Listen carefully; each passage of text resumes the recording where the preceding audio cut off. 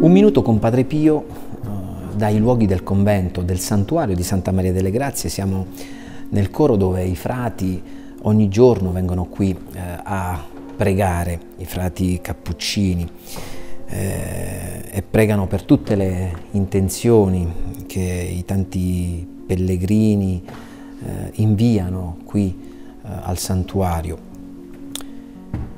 proprio custodendo quella che è l'eredità di Padre Pio da Pietrelcina. E proprio dei confratelli cappuccini in un luogo di preghiera vogliamo raccontarvi un particolare episodio.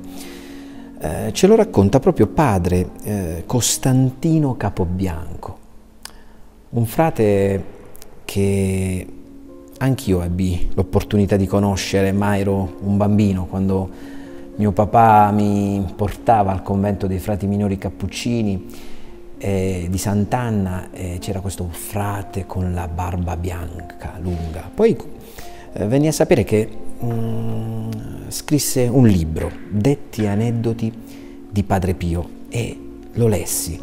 Ed è un libro che mh, racconta tanti piccoli fatti, fatterelli, anche eh, in ordine a quella che era la spiritualità francescana. Infatti padre Costantino racconta di un episodio di un suo confratello, padre Vittorio da Canosa. Quel giorno fra Vittorio da Canosa, che era un amante degli animali, eh, aveva visto un cardellino svolazzare nell'orto eh, era entusiasta, voleva quasi acciuffarlo, ma non riuscì per ecco, portarlo nella sua stanza, per metterlo in una gabbia, eh, per tenerlo con sé, ecco, per far compagnia.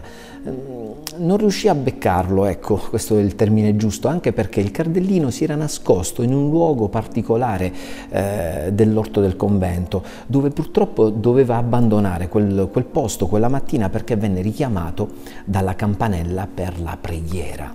Doveva andare a recitare la preghiera con tutti gli altri confratelli in coro, quindi parliamo del coro cosiddetto delle stimmate, non di questo eh, coro.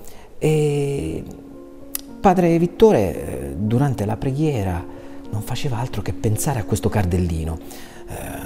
Adesso eh, quando eh, tornerò giù devo recuperare subito il cardellino, devo pensare ad una gabbia, eh, ma come farò per non farmi vedere dagli altri? Ah, forse ho pensato bene di andare a mettere questa gabbia eh, su nella soffitta così nessuno mi, mi, scopre, posso tenere il cardellino lì, gli darò da mangiare, recupero il mangime, ehm, farò di tutto per... Anzi, anzi, anzi, penso anche a un'altra cosa, scrive padre Costantino in questo bellissimo episodio, eh, farò anche un'altra cosa.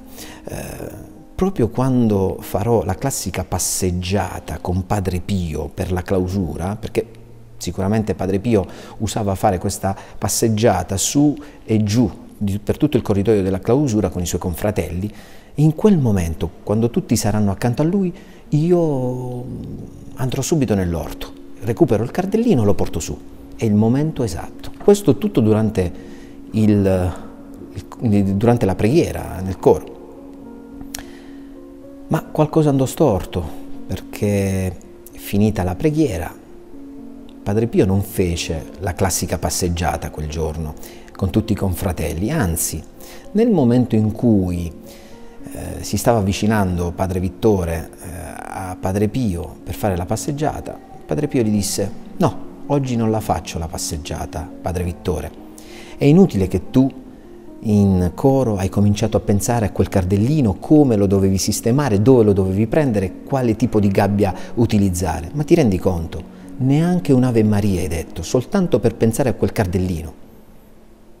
Beh, padre Costantino Capobianco nel raccogliere la sua testimonianza descrive eh, questa immagine di padre Vittore che prende questo serio richiamo da padre Pio e lui mh, mm, dice a padre Costantino che racconta la sua testimonianza, in quel momento mh, mm, ho scoperto quanto era grande eh, Padre Pio perché è riuscito a comprendere i miei pensieri, ha letto nella mia mente e in quel momento eh, era come se un uragano fosse caduto sulla mia testa.